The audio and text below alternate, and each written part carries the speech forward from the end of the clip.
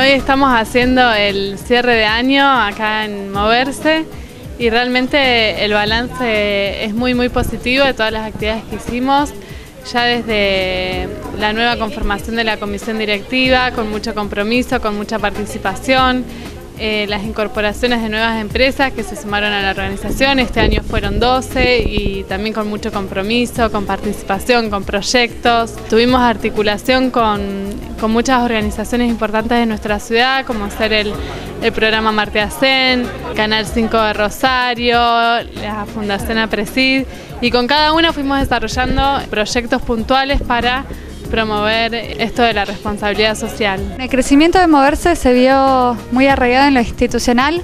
Tuvimos una grande incorporación de nuevos socios, grandes empresas y pequeñas también, que se incorporaron no solo como empresas, sino con toda su gente, ¿no? a través de voluntariado corporativos que hacían acciones con Moverse. También intentaron arraigar todos estos conceptos de RCE en sus empresas y eso ayudó muchísimo a difundir el tema en la comunidad. A su vez, otro de los grandes vías, estrategias de impacto fue el foro regional y la alianza con diversas instituciones de, la sociedad. Así es como nos vinculamos con organizaciones educativas, con universidades, también con otras organizaciones que promueven el bien común y a través de esas distintas articulaciones fuimos logrando realizar conferencias y realizar talleres de impacto, ¿no? Quizás pensamos que la RCE hoy es muy conocida, pero no era así hace unos años o incluso hace unos meses. Vemos cómo día a día, mes a mes, crece el interés en la comunidad en general sobre estos temas. Lo vemos a través de las consultas que recibimos en email, en Twitter, en Facebook, cómo la gente está interesada en estas temáticas y en todos los temas que se derivan de la responsabilidad social, ya sea consumo consciente, contaminación, transparencia, responsabilidad corporativa todas las distintas temáticas que abarca este tema núcleo que es la responsabilidad social. Y principalmente son esas inquietudes de la gente que nos siguen motivando a nosotros a avanzar, a continuar profundizando las temáticas, a capacitarnos y a seguir tomando acciones que cada vez son más abarcativas.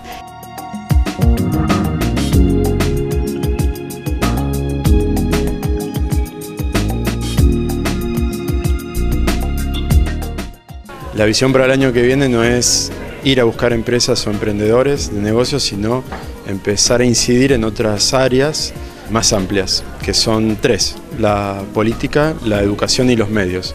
Creemos que a través de esos tres instrumentos es la forma de incidir en las agendas de corto plazo y largo plazo de la sociedad. Tenemos tres ejes estratégicos a tratar.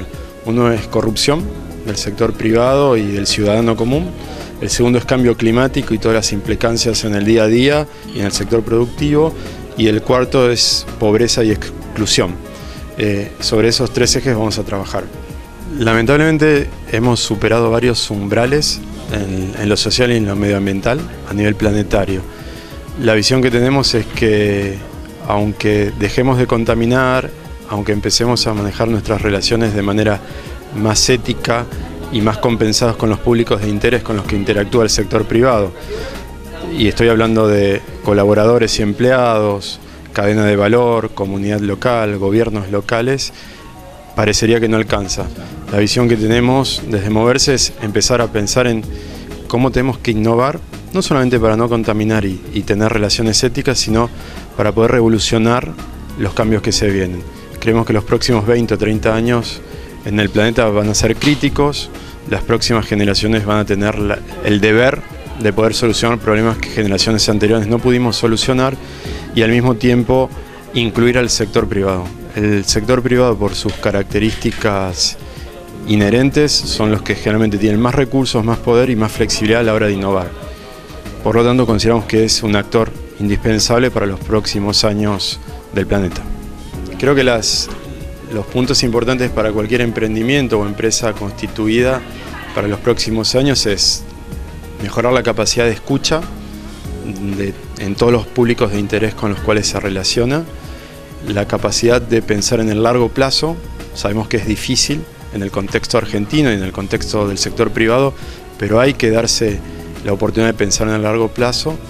Y el último, que no es menor, es ser persistente, o sea, en el sentido de poder perpetuarse y seguir insistiendo, por lo menos en una agenda de valores que en mi organización o entre organizaciones comunes o en mi comunidad local hayamos consensuado.